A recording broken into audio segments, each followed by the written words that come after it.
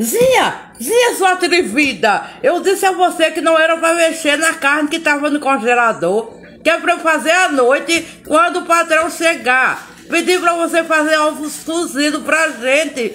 Você se atreveu, mexeu na carninha do patrão. Eu não acredito, não. Não, senhora, eu fiz sim. Seus ovozinhos cozidos estão ali, estão prontos. Por acaso a senhora está vendo algum pedaço de carne da sua, do seu marido aqui no meu prato? Isso aqui eu trouxe da minha casa, olha só. Isso aqui é pé de porco, linguiça, calabresa, feijãozinho preto, tudo de bom. Virgizinha, desculpe, parece muito bom isso aí. Dá pra dividir comigo? Não, Dá pra senhora, me dar um tô pouco? só pra mim mesmo.